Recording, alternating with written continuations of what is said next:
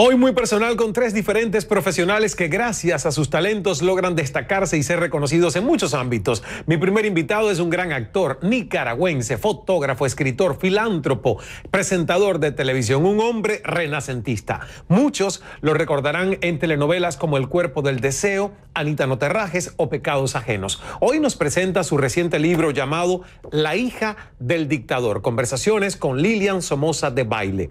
Mi segunda invitada es una escritora puertorriqueña que plasma en sus libros, y tengo varios de sus libros acá en la mesa relatos verídicos de diferentes hechos que han marcado su vida. Ha escrito obras como Adiós papá, adiós mamá, mi amigo Juan y Alejandra tiene miedo. Ahora nos presenta su cuarto libro llamado Separados por Fidel, la historia real de un pequeño que emigró de Cuba debido a las circunstancias de su país. Y para concluir, recibiremos también a un multifacético artista español. Es poeta, es músico, es locutor, es escritor, es humorista, ha hecho historia.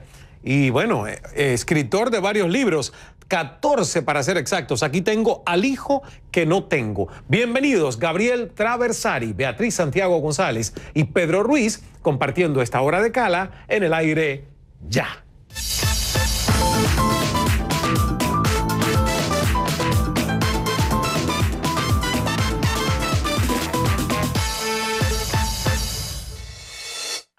Saludos desde Miami, soy Ismael Cala, bienvenidos. Enseguida, conversamos con nuestro primer invitado, además hoy son tres, así que tenemos que sacarle el jugo a esta hora, pero como siempre la invitación a que usted nos acompañe conversando a través de redes sociales, arroba Cala, en Twitter, que aquí ya lo tengo abierto, y el resto de las redes me encuentra como Ismael Cala. Ahora reflexionemos juntos. Quiero comenzar mi reflexión con una sabia frase del novelista ruso Fyodor Dostoyevsky, que hoy eh, Héctor Castro me recordó, y la frase se dice, el hombre se complace en enumerar sus pesares, pero no enumera sus alegrías. Y creo que el gran escritor tenía toda la razón en esta aseveración, ya que es muy fácil recordar mm, cuando la mayoría de las personas cuentan mayormente, digamos, eh, sus problemas, sus tristezas, sus dificultades, y le dan un valor superior a estos temas que a las bendiciones, que a las dichas, que a nuestros triunfos, que a las habilidades únicas que poseemos. Lamentablemente muchos de nosotros damos más eh, prerrogativa a los asuntos negativos de nuestras vidas y desperdiciamos los días enteros enfocándonos en erróneos momentos sin percatarnos que ante nuestros ojos tenemos la solución a muchos de nuestros problemas. Ver el mundo con optimismo, con alegría, con positivismo es la llave hacia el bienestar, hacia el triunfo, hacia el éxito. Y le pregunto, ¿es usted aquellos que ve el vaso medio vacío o por el contrario, su vaso está siempre medio lleno. ¿Se ha fijado que cuando piensa, habla y actúa de manera positiva, su vida tiende a mejorar? En vez de quejarse sobre su mala suerte y su destino, ¿por qué no hace algo positivo por cambiarlo? Con esta reflexión quiero dar la bienvenida a Gabriel, porque Gabriel Traversari, que está acá como escritor, es un hombre renacentista. Yo digo que nuestros invitados de hoy, todos, incluyendo a nuestra mujer invitada, Beatriz Santiago, lo son.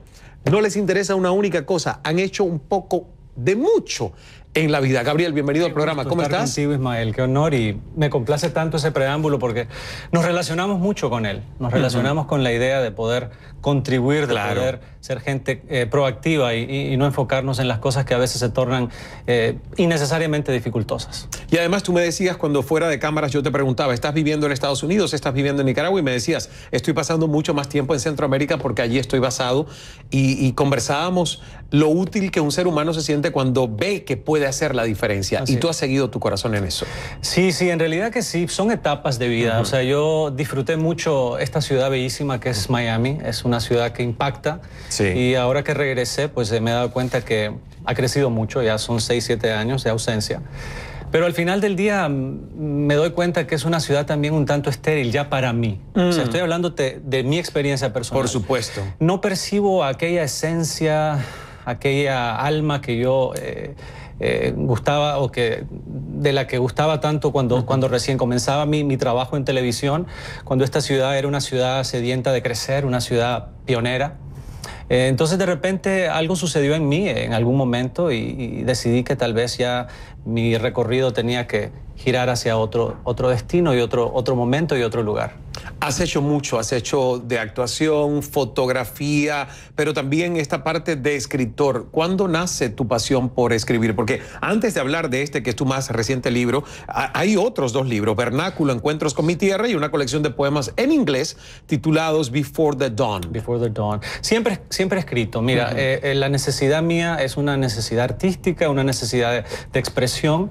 Y desde niño recuerdo que archivaba todos mis escritos. Mi abuelita incluso había ordenado todo lo que yo hacía de niño en su cabetas y me las tenía todas muy bonitas en, un sitio muy especial. Eh, y, con el tiempo, pues eh, supongo, y con, no voy a decir conocimiento, con la sabiduría adquirida con, eh, los años, comencé ya a puntualizar eh, un, cierto nivel de filosofía personal, pensamientos un poco más arraigados a mi verdad interna. Eh, entonces lo, fui traduciendo a, poemas porque creo que es una manera sublime de hablar eh, o, de, materializar un sentimiento o un mensaje. Y se han quedado unas cuantas novelas inconclusas, porque sí he empezado a escribir novelas y la idea y la intención existe, pero, pero también a veces el tiempo te acapara demasiado y, no se logra. Esta es una obra que quizás no sea una novela como tal, pero sí un ejercicio periodístico que, que para mí era vital hacer. Y, a, pesar de que fue un proyecto inadvertido, un proyecto que no estaba en mis planes, eh, lo fui tomando muy en serio y lo fuimos armando hasta llegar a lo que tienes en tus manos hoy en día. Y déjenme decirles a, nuestros televidentes que nos están viendo y escuchando que estamos hablando de La hija del dictador, conversaciones con Lilian Somoza de baile. Y bueno, estamos eh, justamente refiriéndonos a conversaciones con la hija de Anastasio Somoza García, que fue presidente, yo puedo decir, ¿no? Presidente, de Nicaragua durante dos periodos. Tú llamas dictador, otros le dirían caudillo, pero eh, se puede históricamente hablar de que fue presidente por dos periodos. Bueno, sí, fue un presidente eh, en, periodos bastante prolongados, donde sucedieron muchas cosas, no todas negativas, Ismael. Si, si se habla objetivamente de la historia, sin duda surgieron en esa época eh, pues, eh, muchas agendas políticas beneficiosas para el país, pero también sucedieron cosas pues, eh, en torno a la, famosa opresión dictatorial. Creo yo que no hay un solo político en la historia del planeta Tierra que esté exento de errores. o sea que lo que tenemos es que analizar más bien la vida de estos individuos a nivel personal y creo que el libro lo que logra hacer es eso precisamente yo tengo un cierto vínculo familiar con esta gente. No lo Tu segundo apellido es de baile. Es de baile. Que es también el apellido, el segundo de Lilian. Sí, lo que sucede es que la, madre de Lilian era hermana de mi abuelo por, por, por de baile. Eh, las eh, familias se unen y pues ahí surge esa, esa, conectividad. Pero lo curioso del asunto es que a través de, mi historia eh, nunca tuve mucha relación con esta gente. nos veíamos de vez en cuando, como cuando mi madre nos llevaba a saludar a la tía famosa que venía de Washington. Em, y no fue hasta hace 13 años exactamente que yo tuve oportunidad de, de visitar a esta familia en Potomac, Maryland, anexo a Washington. Eh, y de sentarme a conversar con, con ellos. Y mm. casualmente yo, yo estaba alojándome en esta mansión, esta gigantesca, gargantuosa casona, donde vivía esta señora casi que aislada del mundo. Ya ella murió. Falleció hace ya varios años. Sí. Y me sentaba con ella, más que todo para tratar de entender un poco mi, mi, mi, propio origen, ¿no? Eh, un poquito lo que yo era o lo que soy eh, como parte de esta familia y de este legado. Y me fui dando cuenta paulatinamente que lo que ella conversaba era, era un trozo de historia muy valioso mm. y era sobre todo importante para mí porque lo estaba entendiendo desde el punto de vista de su experiencia. Claro. Como parte y partícipe de algo tan grande como fue esta mm. dinastía. Eh, entonces yo le pedí a ella si me permitía grabarla. Ella accedió al inicio aprensivamente, pero luego pues se, fue dando cuenta que quizás aquí había algo tal vez interesante que también compartirle a su pueblo. Y así fue como se, dieron estas pláticas en el transcurso de una semana eh, insistente de parte mía para, para poder capturar lo más posible de su vida. Pero el libro es reciente, o sea, tú publicas el libro después que ya Lilian eh, no está entre nosotros, ya había fallecido, ¿correcto? Lo que sucede... Ella sabía que tú le estabas... Sí, claro. Yo, yo, yo, yo sostuve con ella un sinfín de pláticas telefónicas. Sí. Después de transcribir la obra, em, yo la llamaba constantemente para para aclarar detalles, a veces no entendía muy bien lo que decía eh, eh, en, la, grabadora, y también para, compartir con ella algo que, al final la terminó ilusionando mucho. Eh, tristemente ella no tuvo oportunidad de ver esto completado, terminado, porque falleció, ya estaba bastante frágil, pero siento en mi corazón que su añoranza mayor era poder comunicarse con ese pueblo al que nunca pudo regresar. Y poder poner en claro muchas cosas que también han permanecido parte de un mito eh, público, eh, posiblemente algunas versiones de, esta historia distorsionadas. Eh, y bueno, de cierto modo sentí yo la necesidad como interlocutor y, como ser humano que escucha, algo que, tú enfatizas mucho, pues sentí la necesidad también de, poder servir como, como un mediador a, través del cual se pudiese llevar a cabo esta, este cometido. ¿A alguien le molestó un título tan fuerte como La hija del dictador? A mucha gente. Sí incluso a, familiares de, Lilian. Sí. Yo eh, he sido claro con esto. no soy yo el que creó ese veredicto, no di ese veredicto, mm. no es eh, eh, un adjetivo o una categorización que yo haya asignado por gusto. eso ya la historia se encargó de hacer. Yo simplemente corroboro un dato. Mm. y cuando lo hice, incluso fui muy, muy cuidadoso. Eh, me metí al Google, traté de analizar con objetividad eh, lo que eh, este término podía representar y si te das cuenta, en todas las listas de los máximos y más connotados dictadores del mundo, Anastasio Somoza García siempre está en los top five. Mm. O sea, es algo que es lo que es. no pienso yo que, que deba eh, alterar eh, el, sistema nervioso de nadie, no creo que ese es el propósito, no hay eh, intenciones peyorativas detrás de eso, más bien es un hecho, es una situación que, es real. ¿no? El libro está muy interesante, no solo por las conversaciones, sino también que acompañan a esas conversaciones fotos, que no sé cuántas de estas fotos podrían haber sido inéditas hasta el momento en que tú las has publicado en este libro, de diversos momentos de la historia de Lilian, su prolífica vida también muy cercana a hombres influyentes en otras partes del mundo, incluyendo la política estadounidense.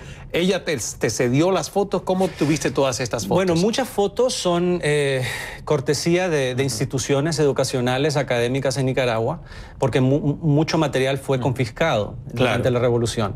Eh, gran parte también de lo que es el compendio de imágenes fue otorgado por, por familiares.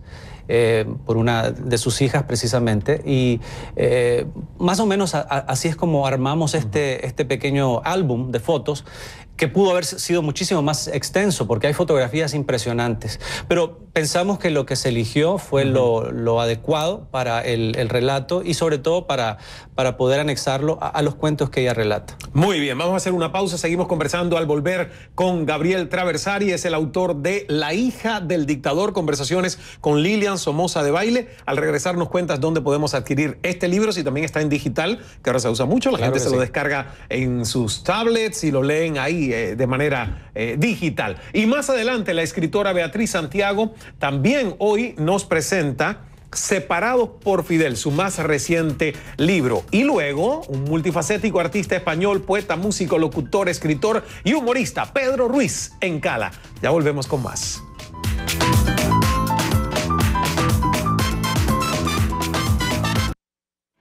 Humillado Somos CNN.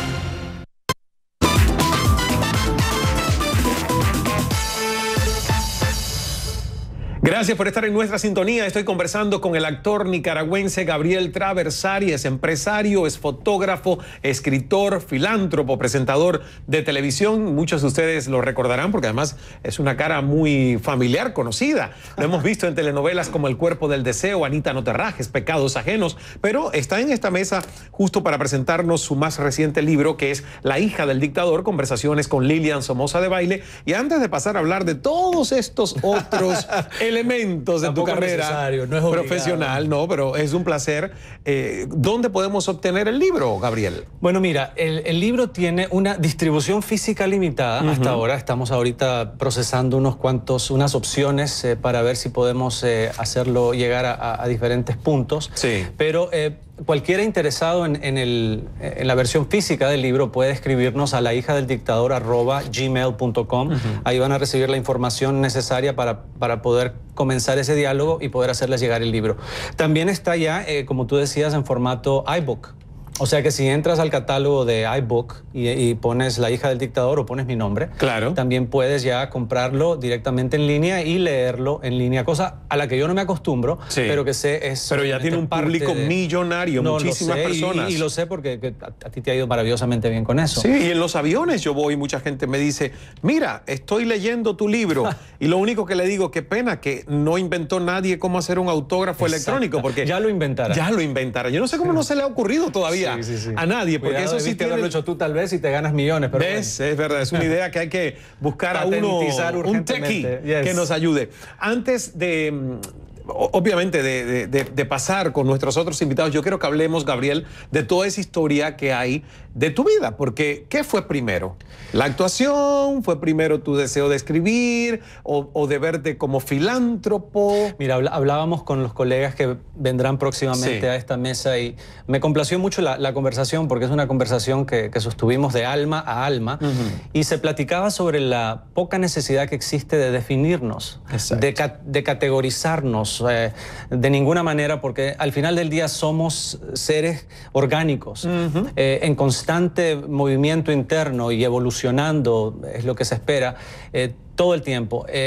mira, yo soy artista, es lo que he sido siempre, es lo único que sé hacer, gracias a Dios, y a, lo que me he arraigado y aferrado, porque si no, no sé cómo hubiese sobrevivido en esta tierra. ¿no? Em, sin duda, estudié y me formalicé como actor. Eh, obviamente teníamos que de, alguna manera llevar un camino. Em, y, eso fue lo que sucedió primero. Pero en realidad mi, oportunidad profesional que me concede Cynthia Hudson, nuestra gran amiga, em, es en Univisión como periodista de televisión, como un presentador de un programa, en aquella época también un programa pionero en, lo que eran los inicios de, esa cadena, televisiva.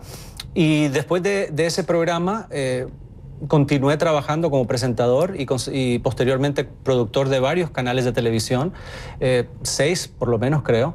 Eh, finalicé acá en, uno que se, que se comenzó a popularizar muchísimo y de repente fue que, que me di cuenta que me estaba atorando, que estaba sucediendo ahí una atrofía, algo. Eh, que no me podía seguir acoplando a estas rutinas, a estos hábitos de vida, a decir la misma cosa todo el tiempo. Y fue cuando decidí empacar mis maletas eh, e, ir en busca de, otro propósito, tal vez más trascendente. Eh, hay un libro maravilloso que escribe Joseph Campbell que se llama The Hero's Journey. Oh, yeah. ¿Lo has leído? Sí. Es la jornada del héroe. La jornada del héroe, ¿no? Y los pasos y las fases en esa búsqueda. Exactamente. Que es al final el proceso evolutivo de cada ser humano, donde tú te vas de, tus raíces en busca de, pues, de esa comprensión o de esa concientización y, luego debes regresar obligatoriamente a tu punto de origen, ¿no? a tu tierra, para compartir ese conocimiento y esa sabiduría. Y siento yo que de alguna manera, pues eh, la vida me ha puesto así, en, ese camino para tratar de respaldar a mi gente. Amo Nicaragua, es un país que adoro. Y estás haciendo mucho por, por Nicaragua. Mira, por mencionar nada más, Voces Unidas por Nicaragua es un evento en el que participas. Has logrado congregar a más de 50 artistas locales y varias celebridades internacionales para honrar la música de tu país. La primera conferencia de música centroamericana también la creaste para forjar oportunidades para músicos de la región. Has sido parte del equipo creativo de la Fundación Futuro de Nicaragua en eventos como Hoops for the Future, talleres intensivos para jugadores de básquetbol discapacitados. O sea que estás haciendo mucho. Sí, claro. y pienso yo que, depende de cada uno de nosotros aportar algo a, esta sociedad global, no solamente a la nuestra, a la que nos pertenece por linaje o por, por origen, al mundo en general. Y, todos tenemos algo que ofrecer y pienso yo que debemos dejar de quejarnos tanto, como Exacto. dices tú, eh, y, darnos cuenta de que cualquier cambio eh, nace primeramente del individuo y luego ya vendrá el esfuerzo colectivo y ya luego vendrá el cambio masivo. Pero, pero no podemos estar sentados y pretender que todo va a cambiar eh, y que vamos a tener que depender de, procesos o sistemas políticos para que eso suceda. Depende de nosotros, activarnos y liderar esos cambios. Dejar de ser parásitos. Así es. Y ser resultores. Sin porque hay parásitos hasta de la fe que profesan. Vamos a una pausa. Gracias, Gabriel, por estar con nosotros. Ha sido, un placer. El honor ha sido mío. La hija del dictador, conversaciones con Lilian Somoza de Baile, ya ustedes escucharon. Si no lo encuentran en físico por el momento, mientras llega a su ciudad, pueden descargarlo y leerlo en digital a través de iBook y otras plataformas. Y vamos a hacer una pausa y al regreso conversaremos con la escritora de Separados por Fidel, la autora puertorriqueña Beatriz Santiago González. Y más adelante, usted no se me vaya, que todavía hay más. Pedro Ruiz no solo es escritor, es un gran humorista español y mucho más.